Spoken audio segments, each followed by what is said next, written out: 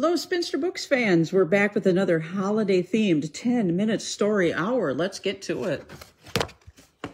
Today's story is A Pirate's Night Before Christmas, which will take full advantage of my horrible pirate accent. So uh, let's get right to it. Twas the night before Christmas aboard the Black Sark. Not a creature was stirring, not even a shark. The stockings were stuck to the bowsprit with tar, in hopes that St. Peggotty soon would be thar. The pirates were snoring like pigs in their beds, while visions of treasure chests danced in their heads. And I with me spyglass and old scruffy dog stood watching the crow's nest for ships in the fog. When out in the mist there arose such a racket, I slid down the mast with me sword to attack it. Away to the poop deck I ran very fast. I threw off the anchor and shouted, Avast! Straight up from the sea in the foamy white spray flew eight giant seahorses pulling a sleigh. A mean-looking driver a hoisting one leg. Well, shiver me timbers! It must be Sir Peg. More sluggish than flounders, his coursers they came, and he whistled and snarled and called them by name. Now Salty, now Scurry, now Sinbad and Molly, on Cutthroat, on Cross Eyes, on Roger and Jolly.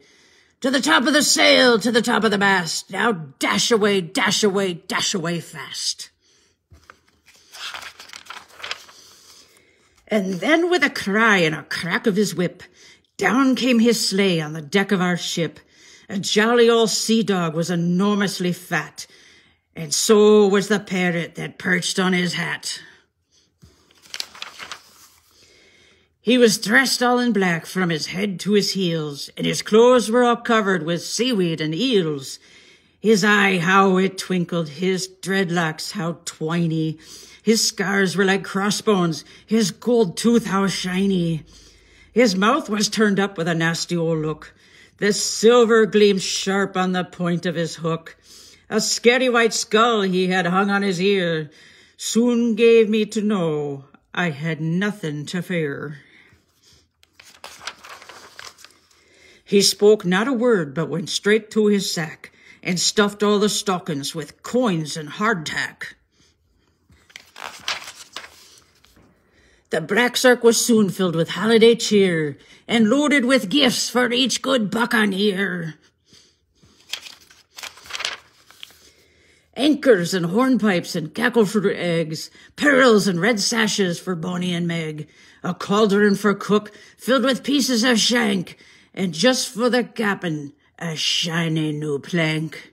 But oh, me heart broken and tears in my eyes, I said to myself, blimey, where is me prize? But he hopped in his sleigh, to his team gave a roar. It's time to return to the briny deep floor.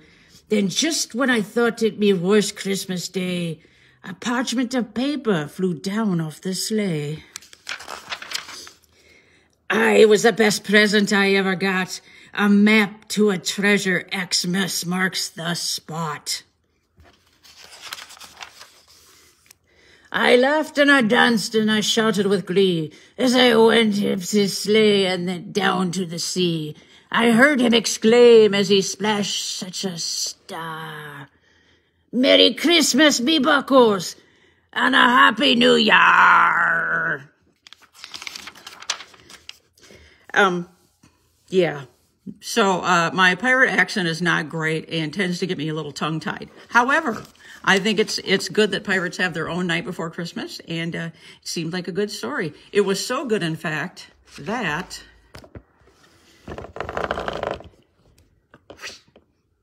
somebody went to sleep. Hello, Charlie. Hi, Charlie. Miss Charlie.